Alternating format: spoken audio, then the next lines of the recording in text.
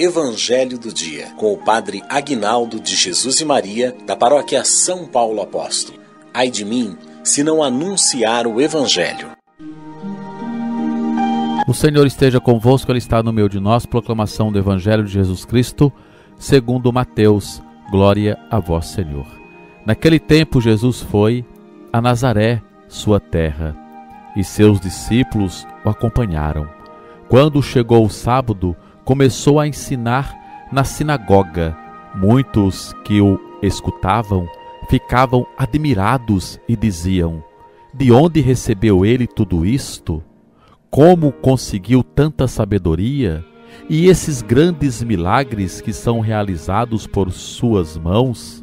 Este homem não é o carpinteiro, filho de Maria, e irmão de Tiago, de José, de Judas e de Simão, suas irmãs não moram aqui conosco? E ficaram escandalizados por causa dele. Jesus lhes dizia: Um profeta só não é estimado em sua pátria, entre seus parentes e familiares, e ali não pôde fazer milagre algum, apenas curou alguns doentes, impondo-lhes as mãos, e admirou-se com a falta de fé deles. Jesus percorria os povoados das redondezas, ensinando. Palavra da salvação. Glória a vós, Senhor. Que a palavra do Santo Evangelho perdoe os nossos pecados, em nome do Pai, do Filho e do Espírito Santo. Amém. Ficavam admirados e diziam: De onde recebeu ele tudo isto? Como conseguiu tanta sabedoria? Gente, olha isso. Como conseguiu tanta sabedoria? E esses grandes, exatamente, está escrito aqui, grandes milagres que são realizados por suas mãos. Aí no final eles vão dizer: Este homem não é o carpinteiro? É Jesus ali que eu joguei bola com ele. É Jesus ali que é o filho de Maria ali, de José. É Jesus ali que consertou inclusive um banquinho lá em casa, fez um banquinho para mim.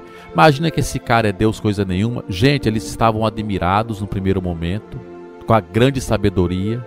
Eles mesmos disse esses grandes, não foi milagre só não, esses grandes milagres e ficaram escandalizados, não foram capazes de enxergar em Jesus a divindade de um Deus.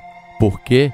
Porque Jesus era simples, tranquilo, não veio com pompas, não veio com, com carros, cavalos, com poder de, de, de destruir, de, de, de, de humilhar, mas veio tranquilinho, sossegado, falando de amor, falando de paz, falando que é para perdoar, falando se alguém bater numa face é para oferecer a outra, se alguém arrancar a túnica, oferece.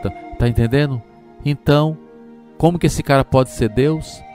O Deus que a gente espera é o Deus de Israel, o Deus de poder, o Deus que vai jogar relâmpago, o Deus que vai é, incendiar, o Deus que vai humilhar os nossos inimigos.